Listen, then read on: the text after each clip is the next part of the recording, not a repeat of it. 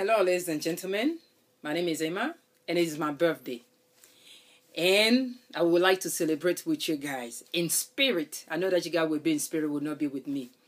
First of all, I would like to thank God, Almighty God, the Most High God, who has given the breath of life to me. And I thank my family, and I thank God to be born in that family that He designated me to be born. I thank you, God, and I thank you guys that are out there that love me, that keep giving me that energy to tell me that yes, tomorrow is a better day.